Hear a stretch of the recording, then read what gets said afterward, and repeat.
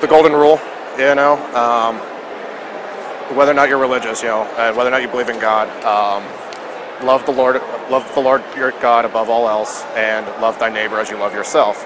Now, love is a tricky, complicated, heavy word, and it doesn't mean pleasure. Don't just do what feels good. Things that feel good ruin a lot of things. I mean, look at sex addicts and drug addicts. Um, but if you wouldn't want someone to do something to you, then you should never do that to someone else. That would cut out a lot of the evil, the hostility, and the backstabbing. You know, you're from Hollywood, so you probably know what I'm talking about. And then, um, you know, be good to yourself, love yourself. Some people treat other people better than they treat themselves, and that's the flip side. You know, uh, you need to have a healthy balance, moderation in all things, even moderation. And uh, I look at life as a bell curve. Most truths lie between the extremes, but there are a few absolutes in both directions. They're rare, but they exist.